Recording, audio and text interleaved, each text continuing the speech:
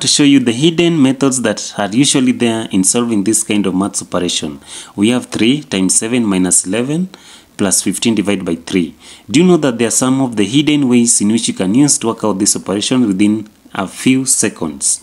Now, come with me. If you know how to calculate the order of operations that involves several, please let us check your answer on the comment section. You can also confirm with us the answers that you shall get at the end of the day. So if you find this video helpful also, remember to subscribe. So let's begin with the solution first. So under the solution here, this one is what you want to solve.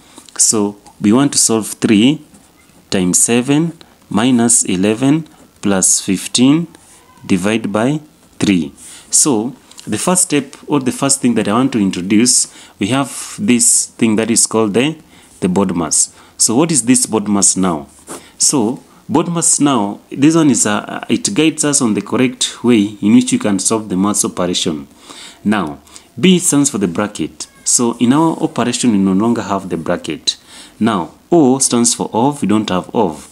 D stands for division. So we need to work out this division first. So we shall say that this one is equals to, don't make a mistake of working this other side before working the division. You might end up with the correct, or oh sorry, you might end up with the wrong answer rather. So you, we have 3 multiplied by 7 minus 11 plus, now we shall have to work out 15 divided by 3 and that is 5. So once we are done with the division sign, now we are moving to our mass again and check which step are we now likely to be. Because if you don't have the BODMAS sign, you can end up working out 11 plus 5, which is are not supposed to work it out first. So we now move to M, that is stands for multiplication. So that's why now we have to work out 3 times 7 first. Then uh, from there we, shall, we shall work out this other side, 11 plus 5. So here we shall now have 3 multiplied by 7, that is 21. Then 21 minus 11 plus 5. Yes, when you follow the correct order of operation, you find that the maths becomes so easy. So our next step now, we shall now have, so this one is equals to 21 minus, then work out 11 plus 5. Because the, our next step is, is the addition sign. 11 plus 5 is, is 16.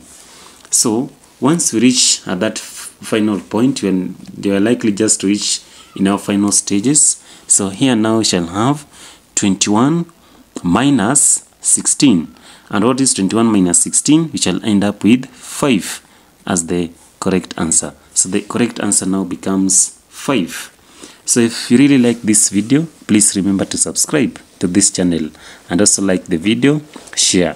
See you in our next video